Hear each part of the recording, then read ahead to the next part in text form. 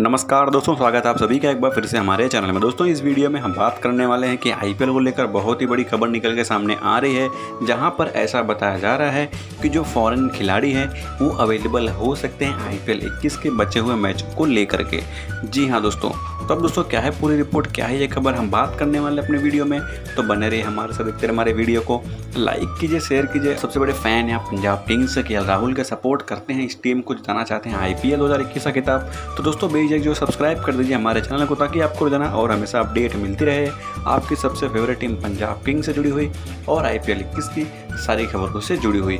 और हाँ दोस्तों, अब बढ़ते हैं आगे अपने वीडियो में कि क्या है पूरी रिपोर्ट और क्या है ये खबर।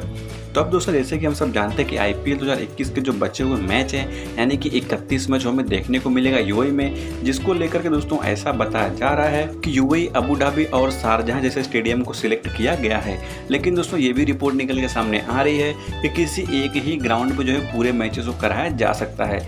तो ऐसे में दोस्तों, अगर बात करें तो कुछ फ्रेंचाइजी हैं जो अबू धाबी कुछ फ्रेंचाइजी ऐसे हैं जो अबू धाबी को सिलेक्ट कर रहे हैं प्रेफरेंस के तौर पे, और कुछ फ्रेंचाइजी ऐसे हैं जिन्होंने जो है दुबई को रखा है प्रेफरेंस के तौर पे। लेकिन अब देखना दिलचस्प रहेगा कि बीसीसीआई इन पर क्या निर्णय लेती है।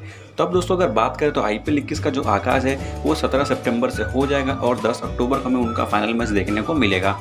ऐसे में बीसीसीआई के पास जो है पूरे 25 दिन का मौका है और 31 मैच करवाना है। लेकिन दोस्तों, इसी को लेकर जो बड़ी अपडेट निकल के सामने आ रही थी, वो ये है कि फॉरेन प्लेयर जो अवेलेबल नहीं रहेंगे। क्योंकि अगर दोस्तों हम बात करें तो इंग्लैंड के काफ़ी सारे टूर्स होने वाले हैं बांग्लादेश के साथ, पाकिस्तान के खिलाफ वहीं अगर बात करें तो ऑस्ट्रेलिया का भी जो है सीरीज़ रखा गया है। और ऐसे में अगर दोस्तों देखें तो यूएई में खुद पाकिस्तान और अफ़गानिस्तान का हमें बायोलेटर सीरीज़ देखने को मिलेगा। तो अब दोस्तों इसी के साथ जो फॉरेन प्लेयर्स हैं, वो अवेलेबल नहीं हो पाएँगे, ये पूरी तरीके से कन्फर्म हो गया था। लेकिन दोस्तों अगर बात करें ऑस्ट्रेलिया मुल्क के जो खिलाड़ी हैं, वो पार्शली अवेलेबल हो सकते हैं आई पी के मुकाबलों को लेकर के। वहीं बी ने जो है सीपीएल को रिक्वेस्ट किया है कि अपने मुकाबले को जो है कुछ दिन और आगे लेकर जाएँ और ऐसे में सी को जो है हफ़्ते दस दिन पहले ख़त्म करवा दे ताकि जो फॉरेन प्लेयर्स हैं, वो सी से फ्री हो जाएँ और आईपीएल में पार्टिसिपेट कर सकें। अब दोस्तों, इसके बाद अगर बात करें तो बी ने जो है मीटिंग में ये भी निर्णय लिया है कि इंग्लैंड क्रिकेट बोर्ड और बाकी सारे क्रिकेट बोर्ड को रिक्वेस्ट करने वाले हैं कि आईपीएल के लिए खिलाड़ियों को जो रिलीज़ किया जाए। अगर उनको लगता है कि खिलाड़ी जो है अवेलेबल हो सकते हैं आईपीएल के लिए। लेकिन अब दोस्तों, इसके लिए कोई भी रिपोर्ट अगर बात करें तो ऑफिशियली नहीं निकल के सामने आई है कि क्या पूरे खिलाड़ी जो है अवेलेबल रहेंगे कि नहीं रहेंगे।